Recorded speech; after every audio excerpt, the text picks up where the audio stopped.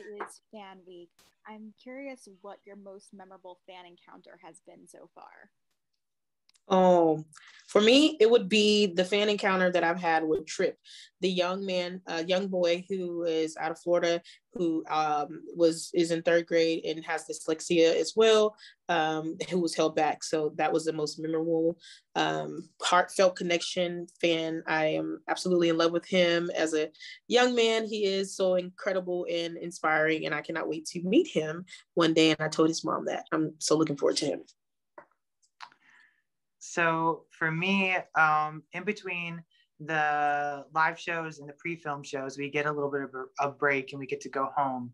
And it was like shortly after my blind audition had aired, my wife and I, we were in like a dollar store and just shopping and we went through the line and the cash register, uh, the cashier like recognized me, even though I had my mask on. So I thought I was going to be like, oh, no one's going to know who I am.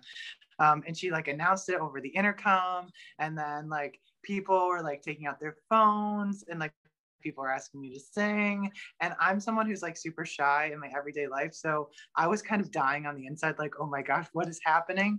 Um, but it was like after it like i laughed for so long and it has definitely been like one of those moments that has really stuck with me that like i had all these people in a dollar store just like bombard me like asking me all these questions and having me sing so it was really it was really funny and cool and also embarrassing and tons of things all at the same time